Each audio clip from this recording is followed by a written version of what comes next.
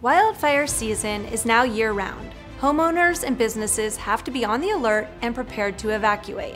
Unfortunately, evacuated homes and businesses invite crime. Criminals can enter a home or business, grab what they can, and leave without being noticed. Police can't be everywhere. That's where Access Patrol Services can step in to provide the protection you need. Our guards patrol communities and stand guard around homes and businesses. Their presence is often enough to keep the bad guys away. APS officers are trained in all aspects of fire watch security.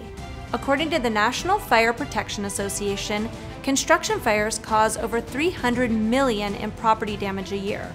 Our guards report potential fire hazards to construction management.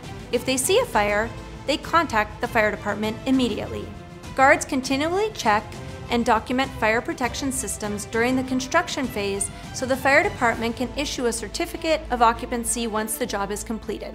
Contact Access Patrol Services for wildfire evacuation protection, construction site fire watch, and other fire related security needs.